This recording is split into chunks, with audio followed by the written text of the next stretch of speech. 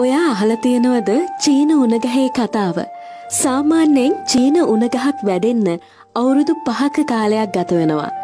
ඒ ගහ වැඩෙන්න නං දවස ගානේ ඒ පසට වතුර පෝර නියම විදිහට ලැබෙන්න ඕනේ. හැබැයි අවුරුදු පහක් ගත වෙනකං කිසිම විදියකින් චීන උනගහ පොළොවෙන් උඩට මතුවෙන්නේ නෑ.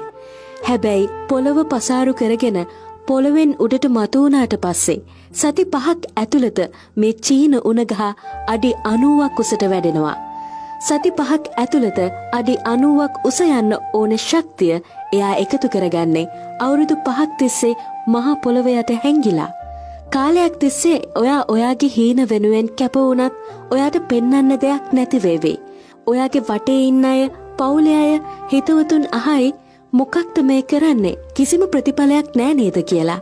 ෂණික ප්‍රතිඵල නැති නිසා තමන්ගේ හීනේ අතරමඟ නවත්තන්න ඔයාටත් හිතෙයි.